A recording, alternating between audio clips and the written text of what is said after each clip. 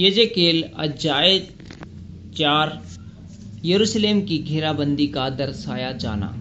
हे मनुष्य के संतान, तू एक ईंट ले और उसे अपने सामने रखकर उस पर एक नगर अर्थात यरूशलेम का चित्र खींच।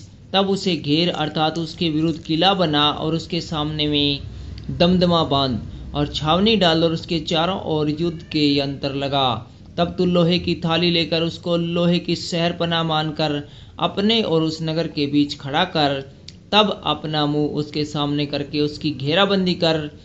इस रीति से तुम उसे घेर रखना, यह इज़राइल के घराने के लिए चिन्ह ठहरेगा।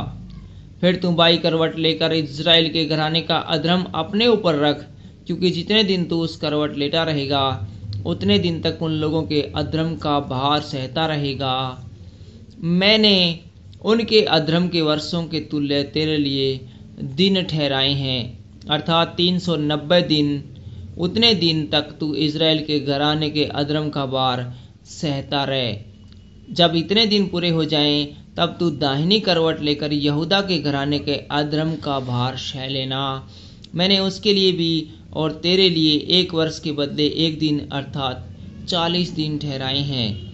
तू यरूशलेम के घेरने के लिए बाँ उगाड़े हुए अपना मुँह उधर करके उसके विरुद्ध भविष्यवाणी करना। देख, मैं तुझे रस्सियों से जकड़ूँगा, और जब तक उसके घेरने के दिन पूरे न हो, तब तक तू करवट न ले सकेगा।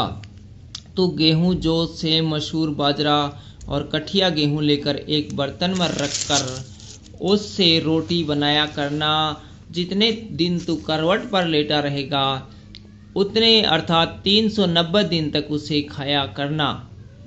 जो भोजन तू खाए, उसे तोल तोल कर खाना अर्थात प्रतिदिन 20-20 स्केल भर खाया करना और उससे समय समय पर खाना।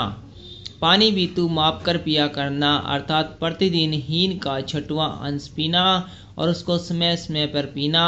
अपना भोजन जो की रोटियों के समान बनाकर खाया करना और उसको मनुष्य की विष्टा के कंडों पर उनके देखते हुए बनाया करना।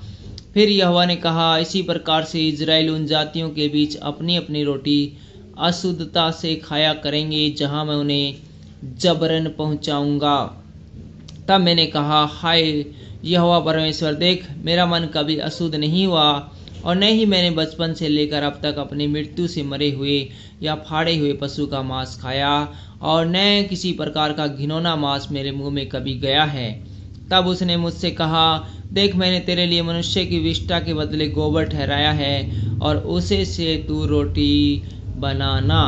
फिर उसने मुझसे कहा, हे मनुष्य के संतान, देख, मैं यरूशलेम में अन्न रूपी आधार को दूर करूँगा, इसलिए वहाँ के लोग तोल तोल कर और चिंता कर कर के रोटी खाया करेंगे और माप माप कर और विस्मित हो होकर पानी पिया करेंगे और इससे उन्हें रोटी और पानी की घटी होगी और वे सब के सब घबराएँगे और अपने अधर्म में फंसे हुए सूख जाएँगे। Thank you